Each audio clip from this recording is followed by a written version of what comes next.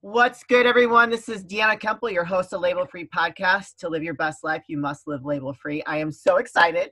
I have a um, an awesome, talented Chicago local artist. Her name is Roya Car- Roya Karbakhsh. I don't know. Yep. Did I say that right? All right. I'm going to have her introduce herself, give us a little bit of about her background, and have her share a little bit more about her her art process and what she's got going on. I actually love her art. I have a piece already, and I can't wait to get another one. You said you have one saved for me, right? All right. Yeah, of Okay. course. Roya, why don't you introduce yourself and tell everybody about about your background and, and all that good stuff? Sure. Yes. Thank you so much. Um, I'm uh, originally from Iran. Uh, I born over there, and I moved to USA like uh, three years ago. So I'm pretty new here, but uh, uh, I uh, have my master degree from art, so special research at art. So I doing uh, almost like a 15 years Oh wow. uh, yeah, I'm painting. I'm still painting, and I love painting. And it happened to me because my mom used to paint.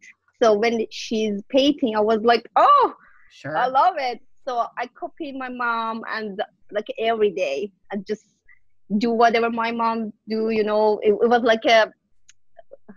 I, I I was so interested to painting like Sure. every day. It was Mhm. my yeah, I'm a, it was my concert. So when I grew up, I decided to go to university and study art as a mm-hmm. bachelor degree. But that time in my country was so bad situation for artists. It wasn't, you know, for artists it was like a, it wasn't freedom for them. sure. So I decided to study chemistry. really? so yeah, so I I went to the university. I studied chemistry, but it wasn't me. Yeah. I was like, a, That's oh so like no, a polar opposite. It's two different things. I know, right? So I had my own gallery that time. Okay. So I was teaching students art, but I studied chemistry at university. It was just two different worlds for me. So after I got my bachelor degree, I said, "Oh, I'm done." yeah. so I wanna I wanna go to uh study art, whatever it is in my country. They don't accept, you know, artists. I mean, this is hard situation, It's- I think it's hard. I think it's hard, like to be an artist. Period, because you know that that's there's that the term starving artist comes from somewhere. But I mean, I personally, I love I love artists because I'm a little bit of I'm a one in a different way. So, but I mean, it, it's I, I think that it's kind of un, until you get out your name well known. It's I think it's hard. Is it, I mean, is it Yeah. hard for you?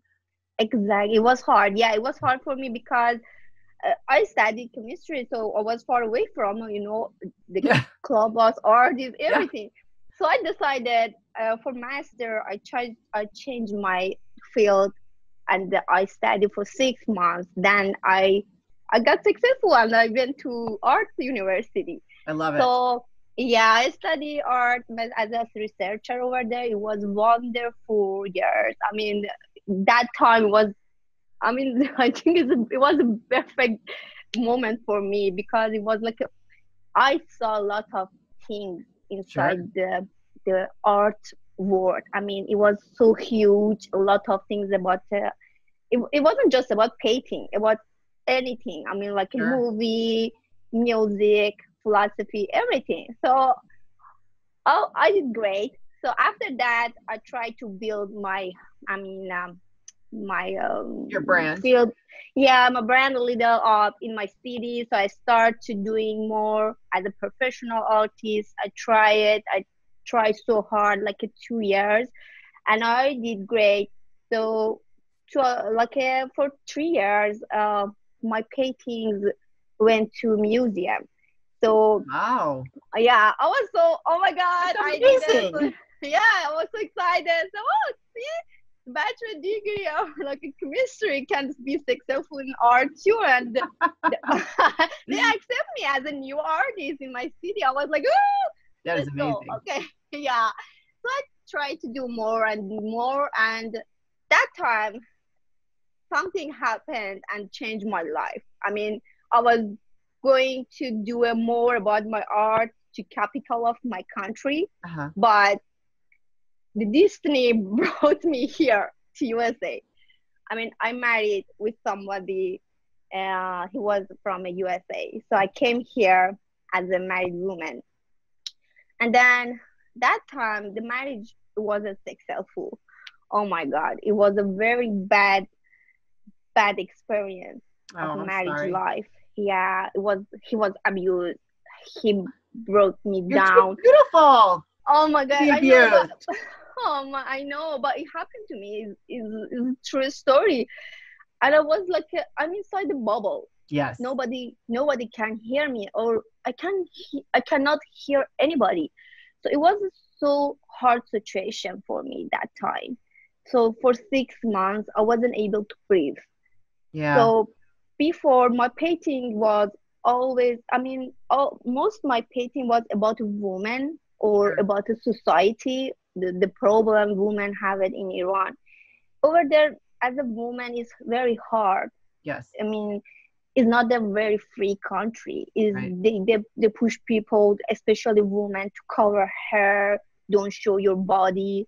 So I wouldn't make it there at all. I know. As an artist, it was so hard for me because I wasn't able to show anything. you- Yeah. You know. So I used uh, I used to paint uh, men models. So when I came, yeah. So it was hard because I'm not a man. I'm a woman. So I want to show myself inside my painting, but it was hard for me that time. When I came here and bad experience happened to me, I, I just tell myself, that's it, Roya. It's a free country. You can just draw whatever you want, paint Yeah. whatever you want, and show a woman like you can be as strong. So, Yes. You know, Yeah, uh, in my love it. yeah in my country i was rich. I was from a good family good education everything. I had everything over there.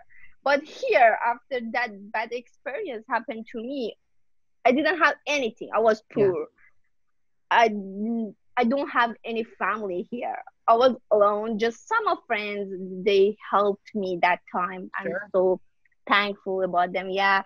So i try alone i mean by myself I, I said, okay, Roya, this is this is your time. If you want to go to depression way, go, but doesn't That doesn't do solve anything. Yeah, Yeah. right. You cannot show anything. So it was my dream to show the people oh, what is the problem women have it, especially like me from my country. I abused here as like Iranian woman. Like my ex-husband always asks me, why you are here? You are I hate Iranian woman. Or why you married me, you know? Yeah. So I was like shocked. I didn't know it's gonna happen to me, but it happened. yeah. So I try to show all my experience with my painting because in my culture, uh, it's hard to accept, you know, tell people what happened to you. Yeah. So no, oh, I had a bad situation, so I wasn't able to talk anybody. Right now, Oh, I'm that's so terrible. brave. right, right, terrible. right. But you know So what though? You're not alone. There's a lot of women out there that are being abused. So it's important for you to, to be that spokesperson when you're when you're telling your story to tell people how you got out of it. And, and look at look at where you are today. I mean, you you like you're beautiful. You've got such a great Ah, smile, thank great energy. And so, if anybody's listening that is being in an abusive relationship, there are resources for you. And she's a prime example of you can get out of it. You're not stuck. Of There are ways out of it. Right, of course, yeah. It all depends what you think and what goal you have. Yes. So I define myself. Roya is not you. You are here. Okay. You are right now. You are in a free country. You are not in your country anymore. So why you should be upset about that things that Yeah. happened? Okay. All right. Show your story. But I cannot tell. You know the people what happened to me, especially to, to my country. I mean, it's hard. They're judgmental people.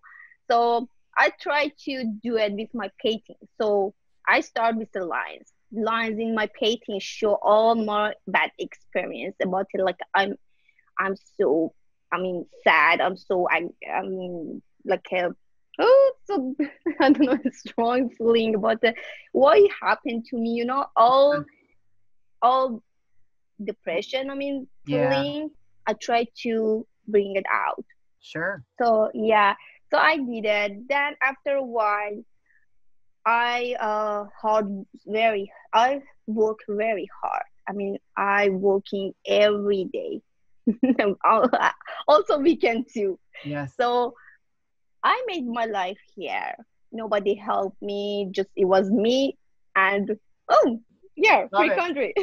Yeah. it. So I started step by step teaching at school, teaching at gallery, and find myself here again. It was so hard, you know, I, I bet. to be in a new country with a different language. I'm still learning. I'm still try to be good. I mean, yeah. mm, I mean, I can't like even imagine. Like I know other people that have come here from other countries and didn't know anybody and like speaking a different language and just come here by yourself. Like that is so brave. And Oh, it's, a testament yeah. to, it's a testament to how strong you are and what people are truly capable of when they set their mind to something. Right. It should be. You should be very strong. Really. Yeah. Sometimes, sometimes you you know you empty inside. yes. you- somebody must help you but there is not anybody to help you it's just you and yourself okay Yeah. just give your hand and stand up and do whatever you have to do you know yeah. so i try to do and one of the reason i'm painting right now very i try to be more professional here and try to show i mean all experience about my immigration and also my bad experience about marriage life i want to show it inside my painting. So i try to give a concept to my painting like uh, a, how woman can be a strong emotional and i mean like lovely woman and how they can be strong too. I mean like like you, you never know what happened to this Yep. woman. Like everybody saw my picture oh she's a happy girl she, she didn't have any i mean bad situation or bad things but i did i have i had a lot of things you know Yeah. i saw a lot of bad things like How uh, long? So how? So you were when you got back when you moved here from uh, Iran and when you were married. How long were you married to him for? It Are, you still, like mar- are you still married to him? No, I got divorced. Like at six months we Okay. lived together. Just yeah, it was it was he was so abused. He was crazy. That's He didn't. terrible. Yeah, he beat me. I was like, how how it can be? You know? he at? I I'm gonna go was kick his ass. Listen, I'm Right, strong. uh, right, I did it actually. I got protection order, and I just said, "Oh, come, go, go far away from good. me." Yeah, and I was shocked. You know, I never thought in US they can be like this behavior. I can't see like this behavior. I was shocked. Oh, what? Oh, what? Where I am going? You know? yeah. So yeah, especially me. I am from family. They are so calm, friendly. Never bad things happen between the family. I was shocked. I was really shocked, and and I wasn't able to back to my country too because as a divorced woman, oh my god, you have a lot of very hard situation over there. Sure. Yeah, over there is like a traditional culture and they judge people. So I try to stay here without any money. just build, just try to build, building, you know, my my life here. So I think you're doing a good job. So we met at a networking event, and you had some beautiful paintings, and I actually bought one. Um, and Mhm. I like, and that's how we connected. And I saw. I mean, I think you're doing a great job. I mean, so do you have paintings in a gallery here now? yes, I do. Where can people find your paintings? Oh, the gallery. Uh, it's like a bottle and bottega. It's a small gallery that I painting over there. I'm teaching painting over there too. Okay. But in the future, I will. I will do it. I mean, like a professional gallery. I will do it, and I'll let you know. But right now, it's just just a business gallery. Yeah. But they can. But people that are watching can uh, can see you on Instagram at Roya K Art. Yeah, And- they can. And if they wanted to buy something from you, can they reach out to you directly to to purchase a painting? Yes, yes, they can. Yeah, you, sure. do you do do you like if somebody wanted to commission you to paint something would you do that as well Yeah, I do. hmm okay great well i just want to let them know we want to promote you you doing your fabulousness Uh, thank you so much. i loved what you said in your in your bio here um, that you were inspired by your mother's strength and you definitely um, are resonating that today in your life so if you had not learned that from your mother, you would not have been strong enough to get through all these things that you've been through and just develop such an incredible life for yourself here. I'm glad I met you. I think you're Oh, just like you. you're just like a beautiful, like just energy. And I was like, oh, I, I've got to get her on my show. So oh, you're doing a good job. I've been in an abusive relationship too. I had several boyfriends actually that were abusive to me and that beat me when I was Uh-huh. younger. Um, when I was married, my husband was more emotionally abusive, you know, Mm-hmm. and then when he passed away, I lo- almost lost everything. And I had to start over with from scratch. So I know what it's like to start with nothing and having to Mhm. rebuild your life. So it takes a special kind of a special kind of inner strength to do that and to actually come out on the other side smiling and thriving and deciding to be a better version of yourself instead of letting it be the other way and letting the world beat you down. You know what I mean? Yeah, sure. Yeah, exactly. So I said, oh, I cannot just sit down and be, I mean, sad about my, that, that happened to me. I should Yeah. do something. I should give a, I mean, hope, hope, hope. I mean, like a more energy to women. Yes. Something happened to you, it doesn't matter. Yeah. You important than everything. You should just make your life better. So right now, if somebody saw me here, say, "Oh, what happened to Roya?" I mean, just three years, Roya is here, and she's trying to do more, more, more. It's like I, I because I don't want it to give up. I wanted to build more. I wanted to show people if something bad happened to me, it's okay. Yeah. It's not matter. I'm more than this. Yes. Something like a little things like this bad experience never can. so I don't know, keep me out from my life. I mean, my way. My way is painting. I wanted to paint. I really want to get. I'm mean, famous or be successful in a painting. I So think you're on your way there for sure. oh, I actually have, I had a girlfriend uh, that she's she's into art and I think that when this is over she's going to want to see your work because I told her about you.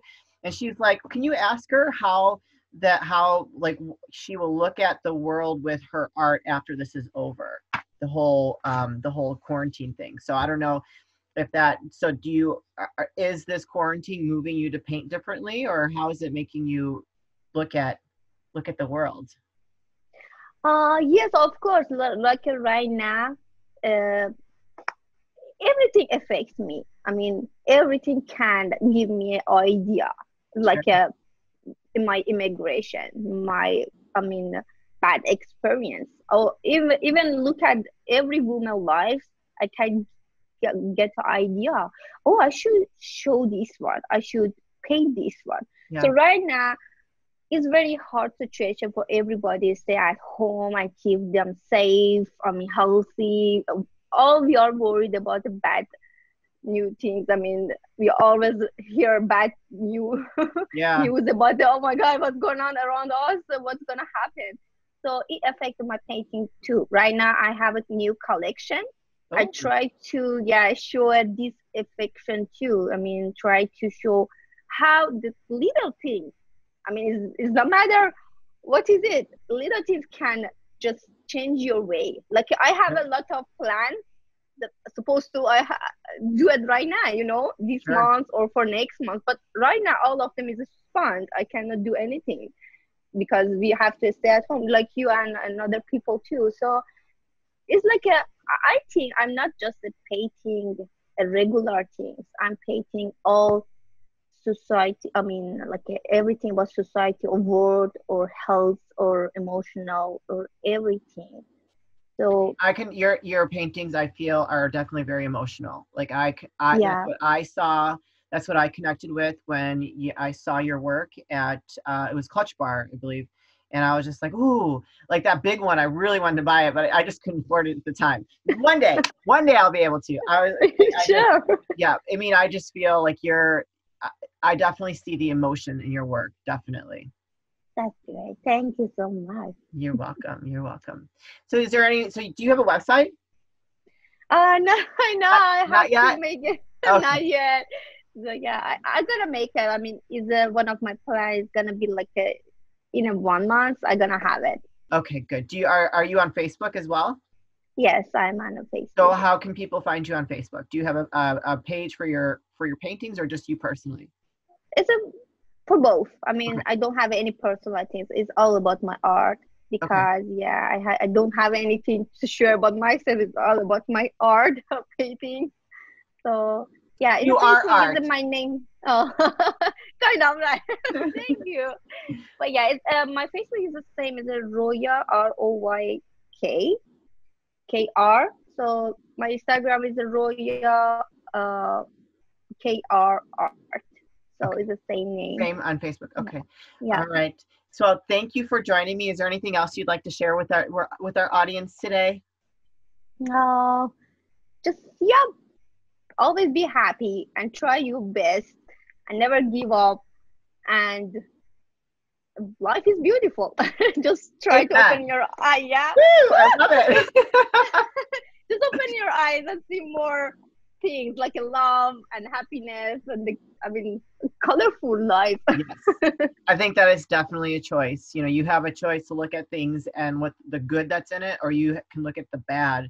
You know, and it's always it's like how you program your brain and how you want to interpret life because it's a fine line, right? You know, one because we could start our day off great and something can push us over and we look at everything terribly, or you can just get over that and keep moving forward. I mean, really, that's all you can do is keep moving Right. forward. You know, and just Right. try to be thankful every day for what you have and where you're going, and just, you know, I love that. Yes, focus Yeah. on love and good things. Okay, Right. I'm gonna wrap things up. Thank you so much for being my guest today. You're welcome. We'll have Thank to, you. we'll have to do a sequel, like you know, after you get your next collection, and maybe you can show some pieces next time, or, or if you, Of course. yes, I would love that because I know I I want I need another piece from you. But sure. All right, Thank you you. guys, thank you, thank you. This is Deanna Kuempel, your host of Label Free Podcast. To live your best life, you must live label free. Thank you for tuning in. Don't forget to subscribe, like, or comment, and stay tuned for our next episode. And we saw, we will see you soon.